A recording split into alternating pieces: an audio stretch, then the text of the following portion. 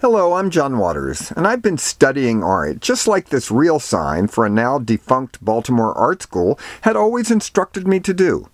The sign may be long gone, but thank God I got a photo of its completely serious, unironic, artistically incorrect message that has inspired me for decades. You too should study art, for all the wrong reasons. The word unwatchable is the ultimate insult in film criticism. But when unwatchable movie images are kidnapped off the screen and isolated out of context, going to the movies can now never be a disappointment. Using photography as a writing tool, I hope to become a failed publicist and a hack rewrite man to make fun of fame. Translating my show business insider knowledge into a celebration of the frustration and humiliation of creating anything, maybe I can merge the art world and the movie world together at last. If you edit, refocus, and rewrite every motion picture that you believe fails, you will have a whole new kind of cinema style.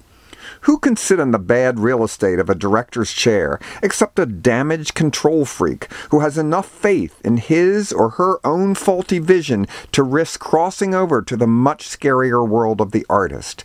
That's called glory. After a film has been exploited in all media, the art can finally begin. Taking images photographed directly from the TV screen and using them for your own redesigned storyboards can enhance everything that is wrong with the movies. All directors' work is equal if no one is watching. A narrative made up of forgotten, commercially spent stills can be even better than film seen first run. A clumsy, accidental triumph taken right off the video monitor.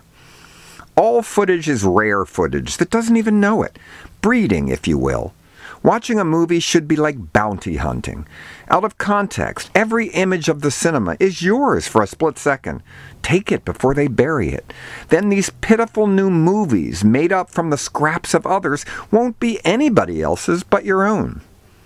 By defacing, removing, and severely editing the failed moments of my own work and the underpraised work of others, maybe I can look at films that were initially dismissed or despised in a more optimistic way and see them for what they really are tiny, fleeting glimpses of accidental cinematic perfection. Glorifying the prestige, humiliation, and spite of a life in show business, I try to disfigure my own celebrity, the only obscenity left in the art world, and combine the secret shame of today's film business with the hostility outsiders feel towards contemporary art. Then we can indeed study art for pride and power.